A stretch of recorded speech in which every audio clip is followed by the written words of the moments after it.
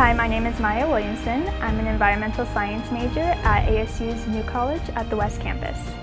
Environmental science is doing research on how we can make the environment, the world, a better place, how we can try to halt climate change. Um, it's just trying to make this world livable for as long as possible and just trying to keep our climate under control.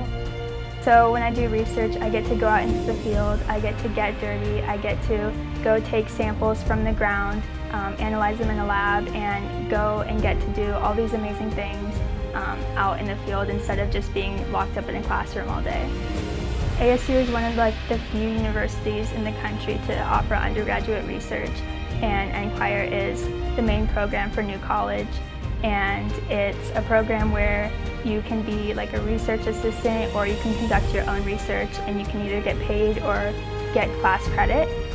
I'm so proud to be a Sun Devil. I feel like I'm getting an amazing experience here and I couldn't be happier to be here honestly.